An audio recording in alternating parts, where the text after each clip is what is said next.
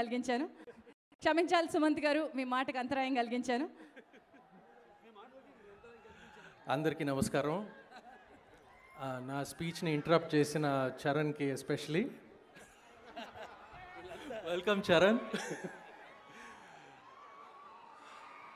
ఎన్టీఆర్ అభిమానుల ఎన్టీఆర్ గారి అభిమానులందరికీ ఎన్టీ రామారావు గారి కుటుంబ సభ్యులందరికీ నన్ను ఇక్కడ నన్ను చైతన్యని ఇక్కడ ఆహ్వానించి ఆహ్వానించినందుకు చంద్రబాబు నాయుడు గారికి బాలయ్య మామయ్యకి నా కృతజ్ఞతలు.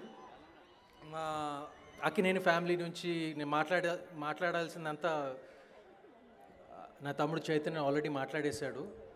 కానీ ఒక్క విషయం యాడ్ చేస్తాను. నేను ఎన్టీ రామారావు గారి ఆ బయోపిక్ కథానాయకుడులో మా తాతగారి పాత్ర పోషించినందుకు నేను ఆ సినిమా ద్వారా నేను రామారావు గారి గురించి ఎంతో తెలుసుకున్నాను.